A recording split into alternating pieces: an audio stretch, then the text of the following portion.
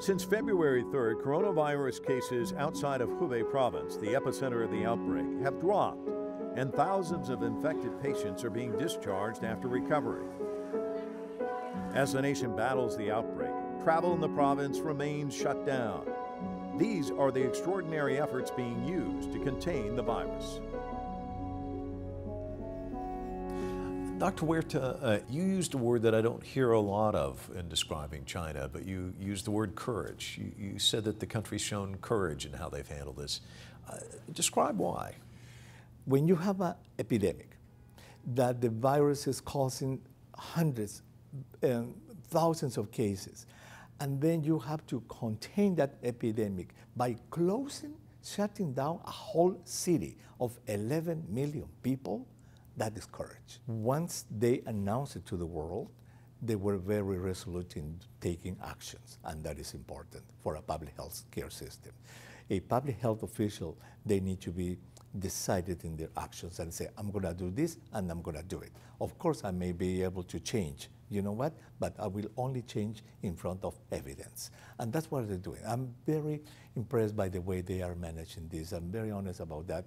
I told my listeners on the radio shows about that, that uh, I think China has done an excellent job this time in containing these, uh, these epidemics to their territory and by doing so protecting the rest of the world.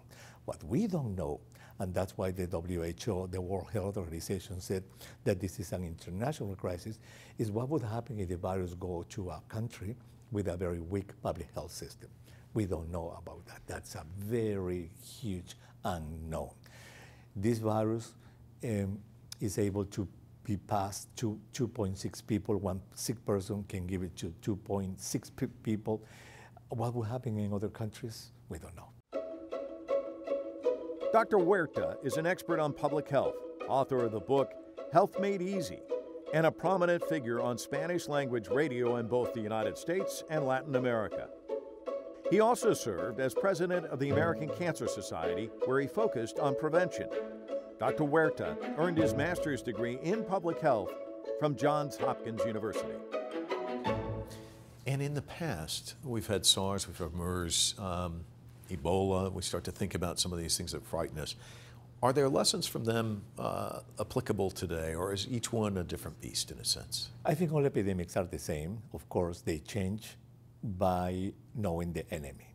The virus were completely different, completely different in their behavior, uh, but the basic tools to fight the epidemics are there.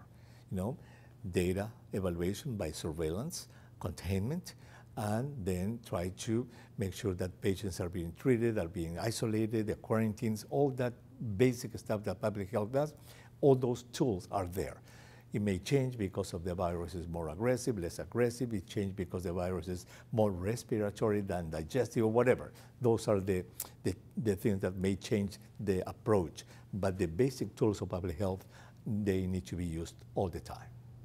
As someone was pointing out, you're, you're, talking about the population of Canada, you're looking at a major city like New York or Los Angeles. I, I find it mind boggling if you were to try and do that here in the United States, that it would work. I mean, people would rebel against something like this in a sense. Well, remember that the world is a very diverse place. For example, if you go to Peru, my home country, you may not be able to do it either. If you go to maybe to some country in Africa or in, uh, in Asia, here in the United States, we have different ways of life, different ways of perceiving how we live together. Uh, China is a society that is able to do that. In, in, my opinion, in public health, my public health perspective is very positive. Because when you are able to close a city, when you are, are, able to analyze the data and say, okay, if I close this city, if I close that city, if I close this city, I'm going to contain these epidemics, and you know what? I'm going to do it. I know I'm going to get a lot of push from inside and from outside, but public health is supporting my decision. And remember something else, Mike.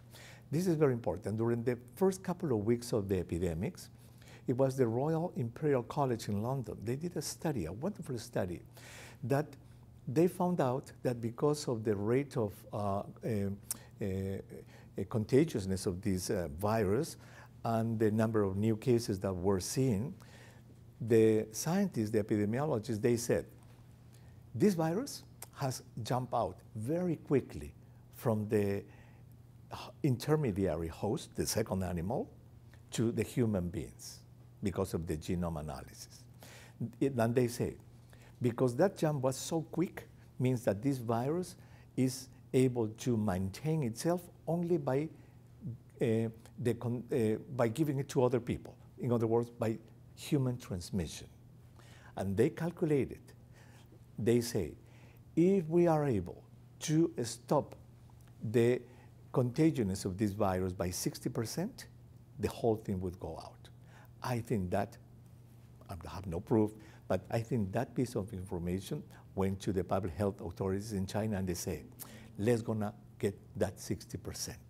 Let's gonna make this virus 60% less able to go to another people, but doing this containment and we will control the epidemics. So far, it's working.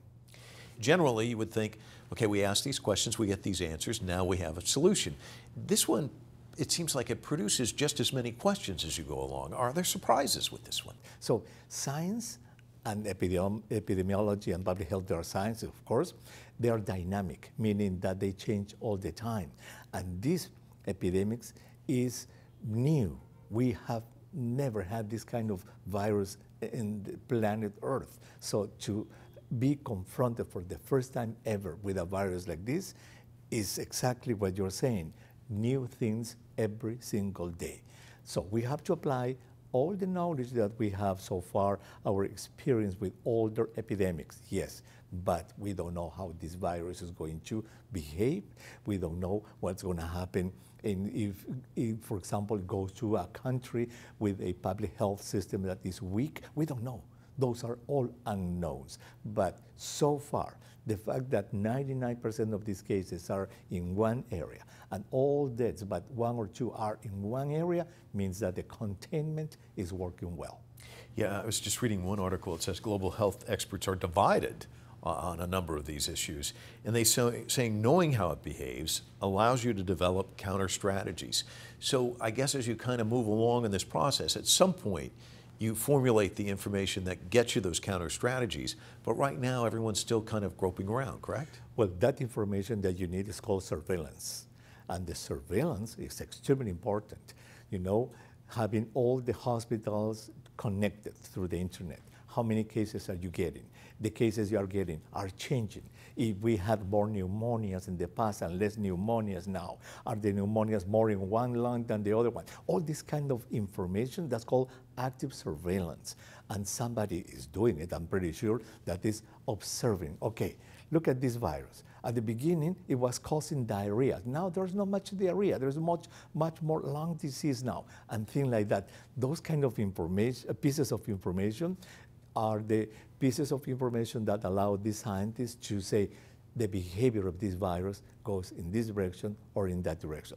And because it's new science, of course, it cannot be full agreement. Some scientists are going to think this way, and other ones are going to think the other way. That's the nature of science. Some people have actually been cured. They've walked out of the hospital, they're feeling fine, they had the pneumonia.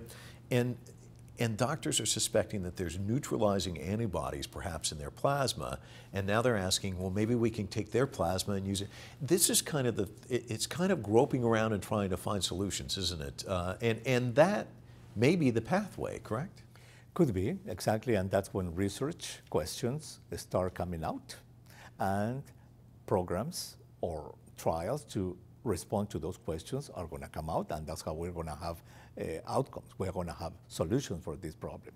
But for example, no, another question is, why is it that there are no kids being attacked by this virus? Right. Very few kids. Why? If you remember, if you read, probably you read, uh, Mike, I'm sure, the pandemics of 1918 that killed almost 90 million people in the world in 1918 to 19 during the First World War the target of that virus, it was a flu virus, were people between 16 and 30, young people, 16 to 30. Why is that this virus is more older people and no kids? We don't have answer to that. And we have to remember that viruses, they are so amazing. Viruses are not living beings. Viruses are pieces of chemicals, proteins, nucleic acids, you know, they are surrounded by capsules. That's what viruses are. I compare them with a piece of candy. If you have a piece of candy on top of your desk, that's a virus. Why? Because that piece of candy is, doesn't have any life. When is that piece of candy have any quote marks life? When you put it in your mouth and you say, mmm, delicious candy. Otherwise, the candy is going to be like a piece of rock or something. Compare that piece of candy, for example, with a cat. The cat is a living being, it's an animal. That's the same difference between a virus, which is a piece of chemical, and a bacteria. Bacteria are beings that they respond to antibiotics. Viruses, they do not respond to antibiotics and only leave, quote marks, when they go inside a body, they take the immune system, take your cells, they divide and cause disease. The spike in numbers, I mean, we keep seeing these numbers and, and, it seems like they're jumping like crazy. Is part of that a product of the fact that at the beginning of this, doctors don't know what they're dealing with? They think, well, maybe they just have pneumonia or they've got the flu or whatever. And now doctors do know. People present, they're like, oh, I think this might be the coronavirus, I'm going to test for it. Is, it part, is that part of it, or is it just that it's spreading so quickly? At the beginning, these cases of pneumonia were there, okay. Once they found out it was an outbreak, and once they found out it was a virus test to find out this COVID 19, that's when the diagnosis starts. And that's when people start getting panicked. That's when people start, for a little cough, go to the hospital and be diagnosed, and the cases just um, add up, add up. That's why in these epidemics, it's so important to always do the math and find out the proportion of people who die to the total number of cases. So far, for the last three or four weeks, it's 2.1, 2.2, 2.3%. That is the lethality rate, and that is very constant. That's an extremely important piece of information, which may go down because if more cases are found in the community, then the first number is going to be larger, and the number of deaths is going to be less proportion. So much less than 2.3. That's what we would like to do, to, to have. Worst case scenario and best case scenario as you look at it today? Best case scenario is that this dies out a little bit, little, little by little, little by little, and then we go from the 50,000 cases to 40, 30, and then the virus goes to another country because it's going to go to another countries, and then goes there and circulates like the flu virus. Goes here and there. We can have, you know, these COVID-19 viruses here and there, but no epidemics at all. That's the best case scenario. The worst case scenario is that this virus goes to, for example, a very populated country, could be India, could be Nigeria, for example, and then causes a epidemic like this one, an epidemic like this one. That would be something that would be the worst case scenario because maybe those countries are not prepared to contain and the epidemic just explodes. So we don't know that yet, but that would be the worst case scenario. My impression my impression, my gut feeling, is that it's going to die out a little by little, and this virus is going to go to all over the world, but it's not cause an epidemic like this one. It's going to be present, causing diseases, causing deaths here and there, but not as an explosion as we have it now in China. And why is that is happening this in China? We don't know. We exactly don't know, because we have cases here in the U.S. We have 13 cases confirmed. Why those cases were not able to go to the community? Why? Some of these people were in the community for two or three days. Had this virus been really bad virus, my God, that's enough for one or two, three people to have maybe a outbreak of 30 cases, 10 cases, nine. We didn't have any. So we don't know yet that yet.